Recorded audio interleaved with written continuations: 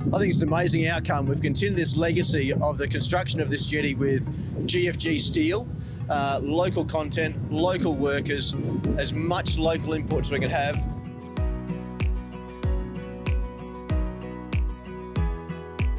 What this is is testament to council's push for as much local content as possible in the construction of, of this Whyalla jetty. Uh, we're contributing 140 tonnes of universal beams and columns to the project. Uh, so the steel has gone through our rolling mill where it's uh, put into the, uh, the shape that's required, goes to our finishing end for the finishing touches and is now here being loaded out at dispatch to head off to Ferretti.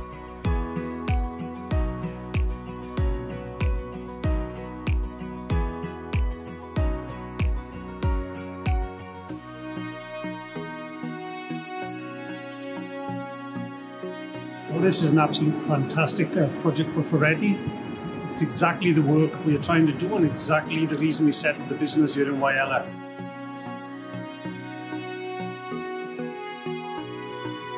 So it's really good for all the workers we have here, the painters, the welders, and it'll allow us to increase our apprentices here. But to be involved in such an important community project can only help our profile.